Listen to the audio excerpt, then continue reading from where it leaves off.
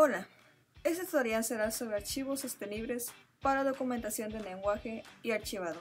En este video aprenderás algunos consejos para elegir apropiados tipos de archivos cuando depositas materiales a un acervo. Archivar es una manera de preservar datos para el futuro. Cuando recopiles tus datos, tú querrás guardar archivos multimedia que serán accesibles por muchos años desde ahora independientemente de futuros cambios tecnológicos.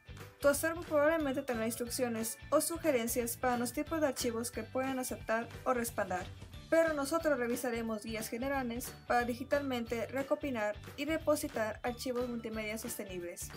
Las fuentes de archivo pueden ser propietarias o abiertas. Las fuentes propietarias son fuentes diseñadas para solo ser abiertas por ciertos programas o equipos. Es genial para darles a los desarrolladores de esas fuentes y programas control sobre su tecnología, pero no tan genial para compartir materiales, especialmente en un ambiente archival. Esos programas específicos pueden también quedarse obsoletos en el futuro si ellos se encuentran abandonados por sus desarrolladores ya que nadie más sabría sus códigos. Puede dificultarse a acervo hacer utilizables fuentes obsoletas en el futuro. Los formatos de fuente abierta no son controlados por un desarrollador específico o empresa de programación, para que estos puedan ser abiertos tanto por programas propietarios como por programas de fuente abierta. Los programas de código de fuente abierta son accesibles públicamente, así si un desarrollador deja de trabajar en ello, otro puede continuar con toda la información necesaria. Es menos probable que se vuelvan obsoletos. Piénsalo de este modo. Imagina que te encuentras un viejo disquete que puede tener algunos datos importantes adentro. Tú puedes no tener la tecnología inmediatamente disponible para conseguir esos datos porque esa fuente está obsoleta. Digamos que tienes una presentación en Keynote o Microsoft PowerPoint, ambos de los cuales son fuentes propietarias. Podrías terminar con un mensaje como este. Antes de que envíes el documento de tu presentación a tu acervo, lo deberías guardar como un PDF A archivable para conservar el contenido en una fuente más sostenible, sin pérdidas. Al menos que el acervo tenga problemas de espacio, tú archivarás las versiones de los archivos sin comprimir y sin pérdidas para que puedan conservarse en su calidad original. Algunos acervos presentan o crean archivos derivados para propósito de distribución de la misma forma. Sin embargo, cuando se trata de video, siempre verifica con tu acervo cuáles fuentes podrá aceptar. No encriptado.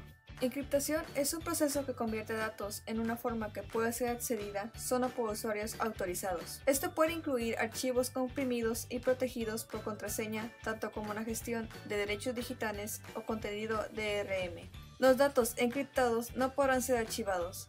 Son los datos que pueden ser abiertos sin programas especializados o permisos digitales pueden ser metidos al acervo. Dado que es cierto que no puedes usar encriptación para proteger tus archivos en un acervo, muchos acervos tienen la habilidad de restringir el acceso a materiales sensibles. No estructurado. En estos tiempos, muchos acervos no pueden archivar datos interactivos que no están autónomos en un solo archivo multimedia. Aunque una base de datos no se puede archivar, las tablas que la componen sí pueden. Igualmente, aunque un diccionario consultable de Internet no se puede archivar, sí se puede archivar un PDF-A de los términos con sus significados. No ejecutable. Los datos ejecutables con códigos ejecutables no deben ser archivados en un acervo digital de lenguaje, ni en un acervo institucional, al menos que el acervo específicamente diga que los acepten, tal como acervos con control de versión como GitHub. Los ejecutables pueden dañar el acervo digital que está conservando tus materiales. Como siempre, Trabaja con tu acervo para averiguar sus especificaciones de los formatos de archivo.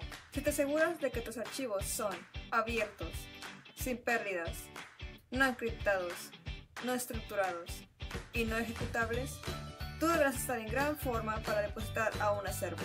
Se encuentran más videos como este en el canal de AINA.